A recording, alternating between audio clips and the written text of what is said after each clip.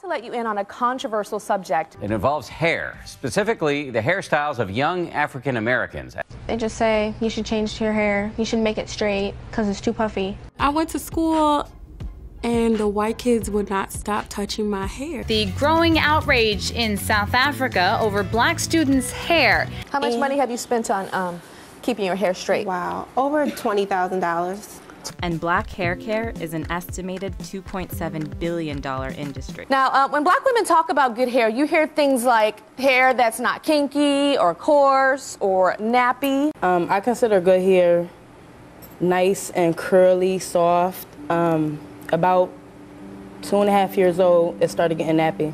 We have put this on ourselves. We have made ourselves hate the texture of our hair. In society, there's this big issue over black women and their hair. To wear your hair naturally is not something that's that's readily accepted until the early 2000s with this whole natural hair movement where more women of color are going back to wearing their hair natural. It's amazing that it's considered revolutionary to wear my hair the way it grows out of my head. Mm-hmm. So the issue is how is it that we in the black community can accept this hair? What can we learn from it to see that it is manageable, but also for those who are not familiar with the whole hair issue, what can we learn from this? So it takes principles that you use to grow your faith to grow your hair.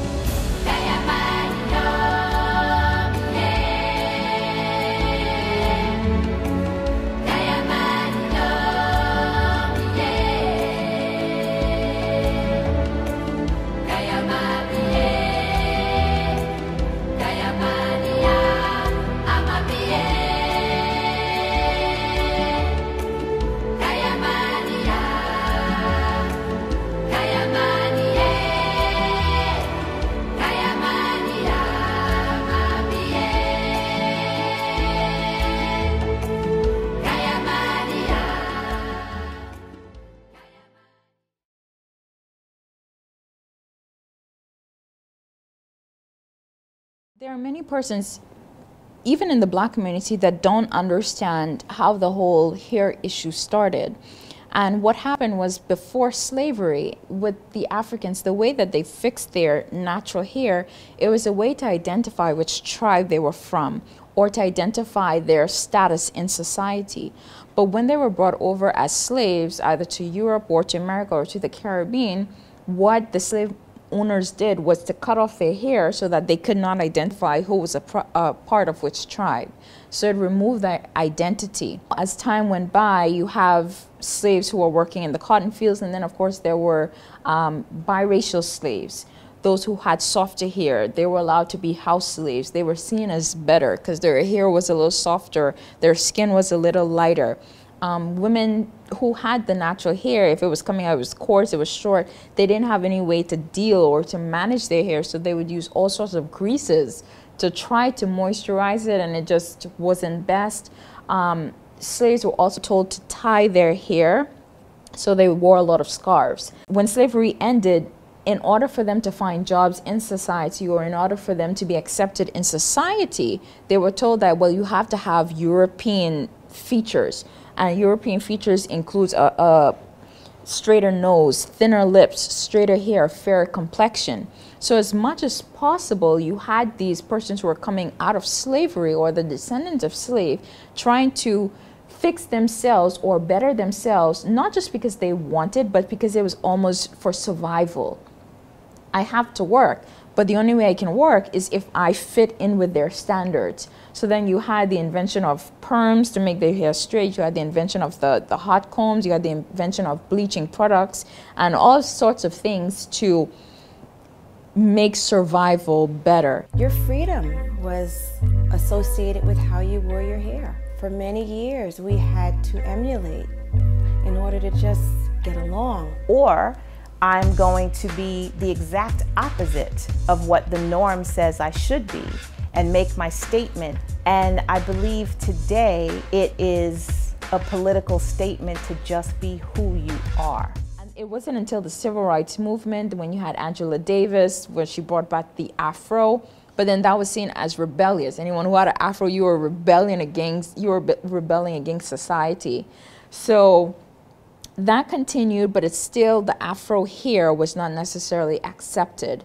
And then, of course, when you come to the 2000s, it started the whole natural hair movement, where you had black women saying, you know what, we're done with this. We're not perming our hair anymore. We're just accepting ourselves for the way that we are and accepting our hair. So now that's why you can find so much more information on natural hair. And when you look at the statistics, um, the amount of money that the perm chemically processing hair products we're making, it has plummeted because you have more and more black women choosing to go natural or retain their natural hair. So this is something that goes all the way back to slavery, not just something that persons just woke up one morning and said, we're going to make our hair a big issue. That's not what it is at all. Just things from history that's sort of trickled down. So now that we have a little bit of background on how this whole issue started, it helps if we could actually talk to someone who lived during a period when blacks were really looked down on. How did she view her hair? How did others around her view her hair? So, as we're continuing on this journey, we're now going to talk to May Williams. I was born in Bridgeport, Connecticut. It wasn't until I came south to Oakwood where I really began seeing that it is a problem. Being black is a problem. Mm. I ran into that as a six year old, six, six and a half, little Italian girl in my hometown looked at me one day and she said, You're a nigger. Mm. And I had never heard of the word nigger. I didn't know what that was. And she said, You are a nigger. And she put her hand up to me and showed me her skin versus mine. And I, I went home crying all the way. Mm. And my three brothers grabbed me. They're older than I was, but they looked out for their little, little sister and wanted to know who had bothered me. They were going to go and beat the person up. And uh, so and so, whatever her name was, I said, she said I was a nigger. Mm. She was, and my brother said, yes, you are. goodness. And I stopped crying immediately. He said, he said, yeah, that's what they call us. He said, but you are a Negro. You are mm. a child of the king. Don't let anybody tell you you're nothing. Mm. How did you feel about your hair? We didn't, we didn't do, uh, leave it in its natural state. When we shampooed it, we would straighten it. Back in those days, we were so proud, or maybe we weren't so proud, maybe we really forgot who we were. But we didn't want to be uh, bushy headed.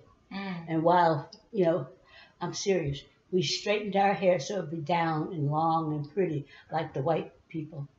Was it something that was said to you guys, or it, it was just you grew up with that idea? I don't know where the problem was, but later on in life, later on, it dawned on me that we were trying to be white so that we would be accepted.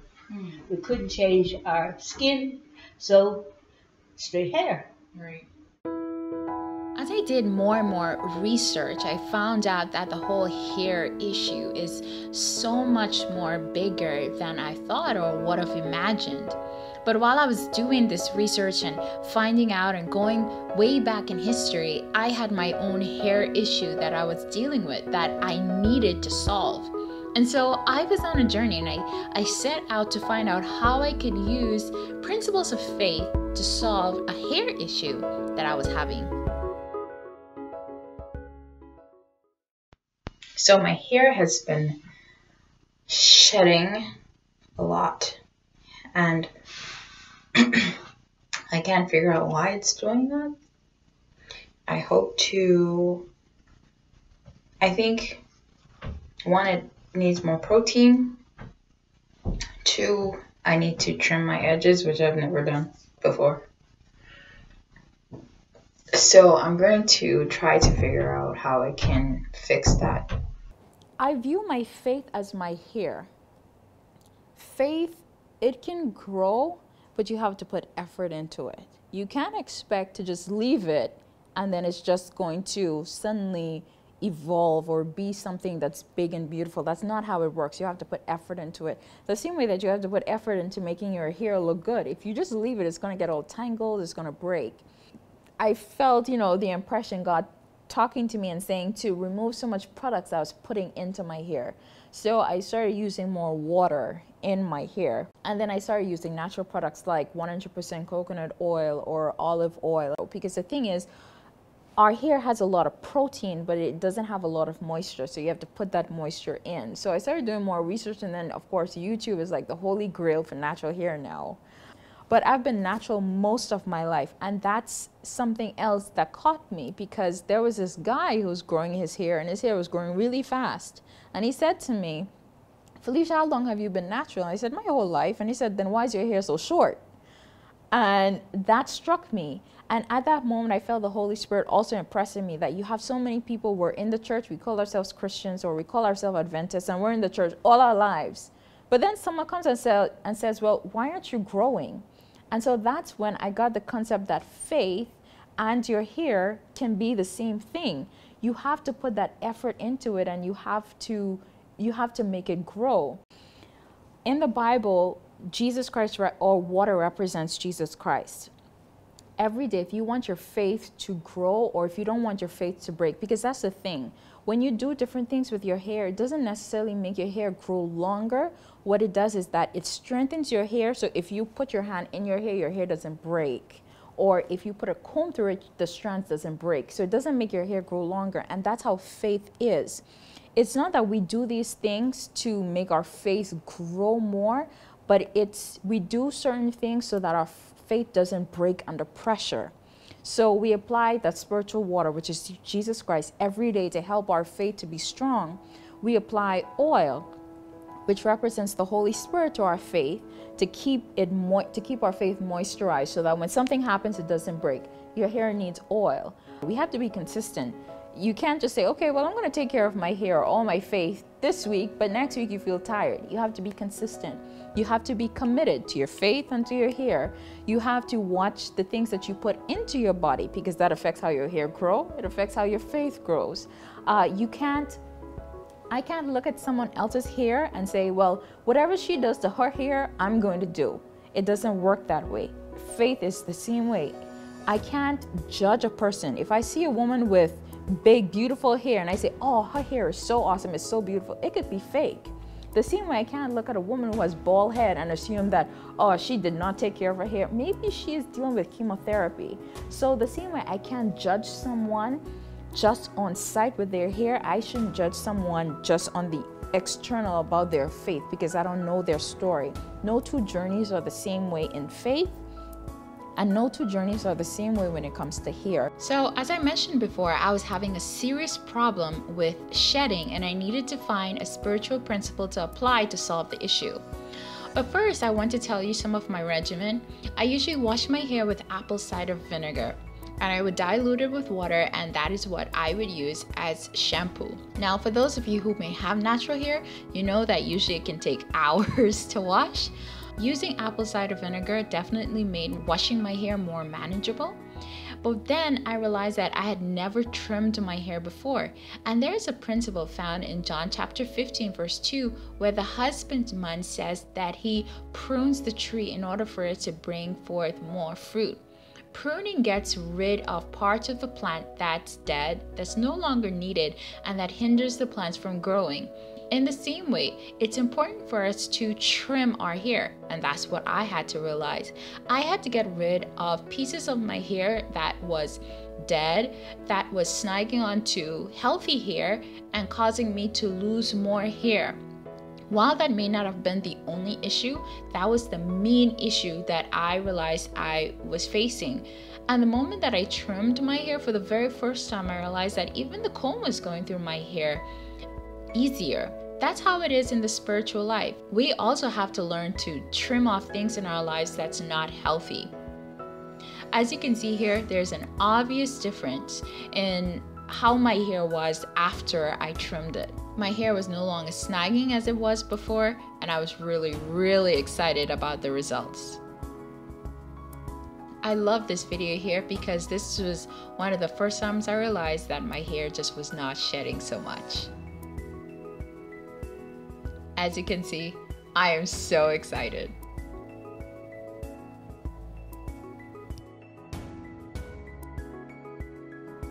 So just to remind you, this is my hair before I trimmed and this is after.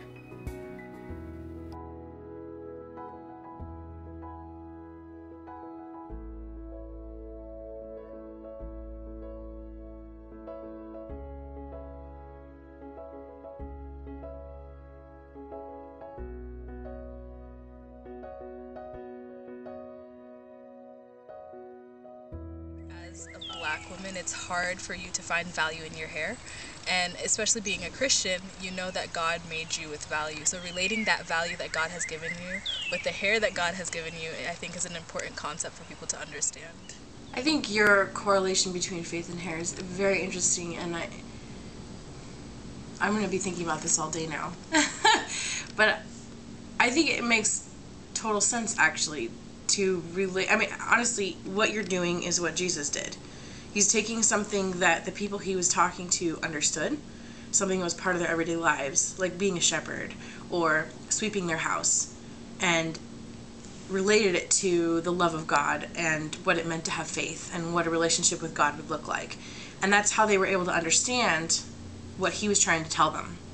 And so what I think you're doing is creating a parallel, a parable for people who understand what it's like to have this whole black hair culture and to relate it to their to their journey with with God. So wow, that's really fascinating to me. Just like cuz I that's not something that that I think that I could do. Like if I if I were to take my hair experience and relate it to my faith, maybe they would match, but not in a good way because if I get up in the morning and I take a shower and I quickly just shake my hair out, put a couple things in, and then walk out the door five minutes later, what does that say about my relationship with God? That I'm just getting up in the morning and just going through the routine of connecting with Him, and then just five minutes later being out the door and never thinking about it again for the rest of the day. So I think that this is a unique experience that you can give to a, a unique perspective that you can give to a very unique special demographic who can really understand what you're trying to say and make that connection. And I, if I had something like that that I could relate to something that is such a major part of my life, it would really change your perspective on how you approach your relationship with God. So how do I feel about the correlation between faith and fro? I feel like there's a very, very strong correlation between those two things. Perfect example would be this wrap on my head today. Sometimes you can't predict what your hair is going to do, but um, if you prepare, it's more than likely that you'll have something that will come out a little bit better. Um, it also requires a process of discipline. It's the same thing with your spirituality. Um, it might not always come out right, but you need to be disciplined to be able to do the same thing to try and get a desired outcome. So um, God doesn't ask us to strive for the best, He asks us to be consistent. Um, and that's one key thing with natural hair. Like this scarf on my head. If you're not consistent, more days, often than not, you'll have a, a disaster. because it just won't work and you'll find yourself trying to cover it up because everything is a disaster.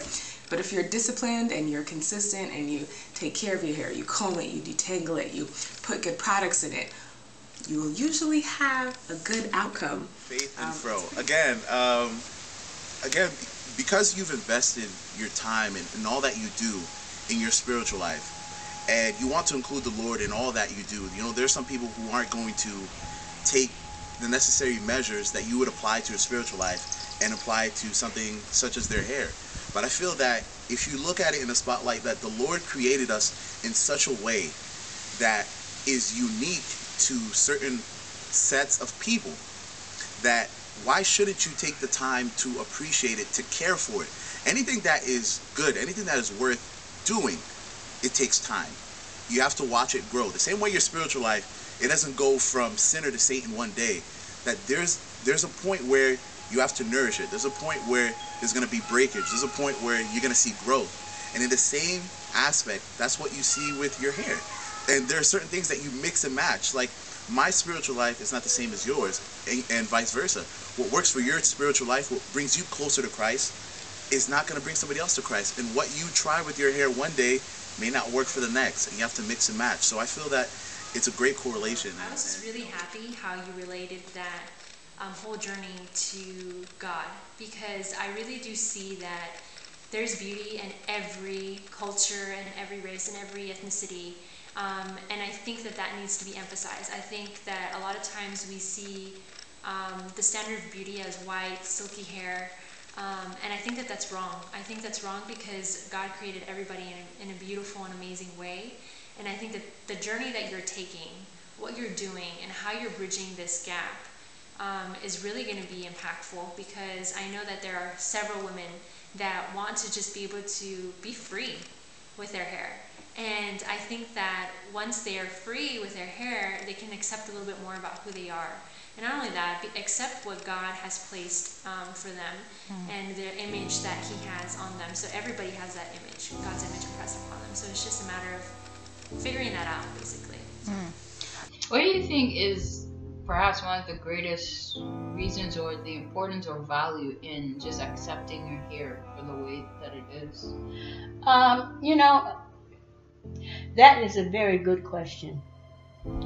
I've had to realize and I was only like in my 30s, that we're really rejecting Jesus because of the way that we were born.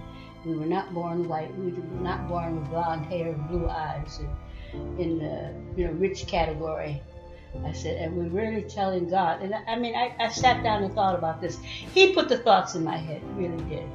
I said, we're, we're, we're telling God that we don't like you because you don't like us and that the pictures that people had of God and of Jesus was always white.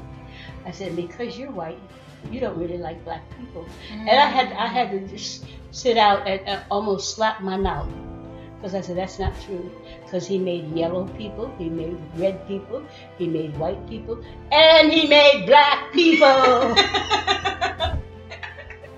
when it comes to the whole hair in the natural hair community or in the black community, it has much more to do uh, with hair. Uh, it may seem as if it's not a big issue. But the thing is, when you take something like your hair, when society tells you that it's ugly, when society tells you it's it's not beautiful, it's not accepted, when yourself you're telling yourself it's hard to manage, it's just so difficult, I can't deal with it, but you get to the point when you realize I can make this grow.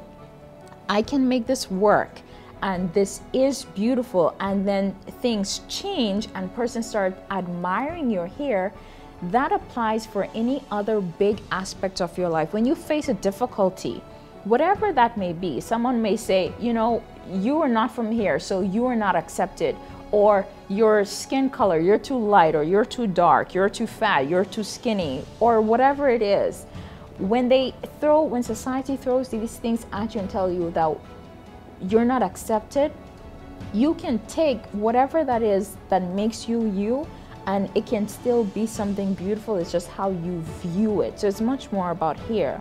The other thing is that your faith should be practical. If you can't take your faith in god and apply to and apply it practically apply it to your studies, apply it to your hair, apply it to your relationship, then your faith means absolutely nothing. If it's just something that makes you feel good, you sit in church and you say, Praise the Lord, but then you walk out of church and you're facing financial difficulties or hair issues or school issues and you can't apply that sermon to any of those things, then it's all in vain. So, that's what I want persons to know that whatever it is that's difficult, but it's a part of you, it can be beautiful because God made you that way. Two, your faith should be practical and you should be able to apply it to things in your life. And three, if God is interested in just my hair and making my hair grow, and it's really not a big deal when you look at it on the big stage of everything else, but if God is interested in my hair, how much more is He interested in my salvation?